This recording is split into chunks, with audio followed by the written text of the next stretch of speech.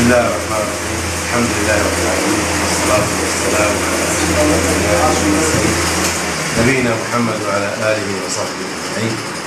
فإني والحمد لله قد تشرفت بزيارة مدرسة حبر الأمة واطلعت على ما فيها من المرافق والدروس فوجدتها مدرسة صغيرة فتية لا زالت في بداية الطريق وهي ترجو أن تدعو إلى الله بالحكمة والموعظة الحسنة وعلى منهج السلف الصالح وقائمها مديرها الشيخ محمد يعقوب ومؤسس هذه المدرسة الشيخ مستفيد الرحمن من خريجي أيضا الجامعة الإسلامية.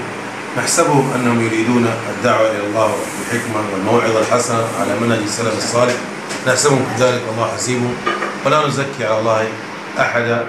فأرجو وأدعو إخواني الداعمين أن يدعموا هذه المدرسة فهي بحاجة إلى الدعم لبناء مرافق أكثر حتى يستوعبون طلاب أكثر وتكون الدعوة بإذن الله آه أفضل وأكثر.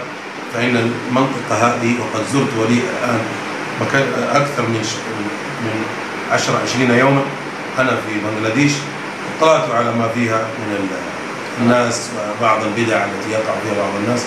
فإن هذا البلد سبحان الله يحتاج إلى دعوة إلى التوحيد وإلى السنة وقمع البدع بالحكمة والموضوع الحسن. الحمد لله بنغلاديش شعب محب للخير ومحب للإسلام شعب هادي يتقبل النصيحة والدعوة.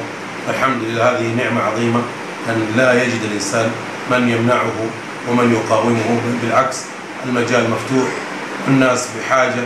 لهذا الأمر وهناك بدع كثيرة الحمد لله قد أزيلت وبقي بعض البدع وبقي بعض الشركيات عند بعض الناس هداهم الله.